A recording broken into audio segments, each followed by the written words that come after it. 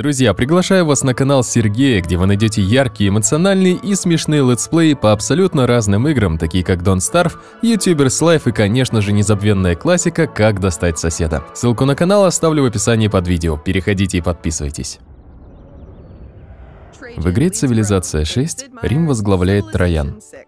Троян существенно расширил империю, построил множество общественно важных объектов и вошел в историю как один из пяти хороших императоров.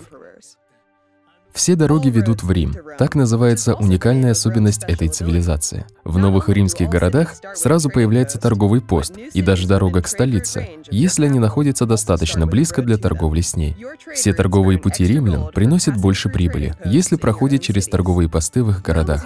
Уникальный юнит Рима — легионеры. Легионеры дороже, чем мечники, но сильнее в бою. Также они могут заменять военных инженеров и строить форты и дороги хотя задействовать их в строительстве можно лишь несколько раз. Акведук римлянам заменяют термы. Они дают довольство и обеспечивают жильем больше людей, чем акведуки. Уникальная особенность Рима называется колонна Трояна. При основании города в его центре сразу появляется постройка. Чаще всего ей оказывается монумент. Играя за римскую цивилизацию, следует как можно скорее основать несколько городов, изучить инженерное дело и построить термы в каждом из них. После этого ничто не помешает расширить вашу империю. Если другим нациям будет не по нраву ваша экспансия, отправьте в бой свои непобедимые легионы. Форты, доступные уже в ранней игре, помогут удерживать захваченные территории.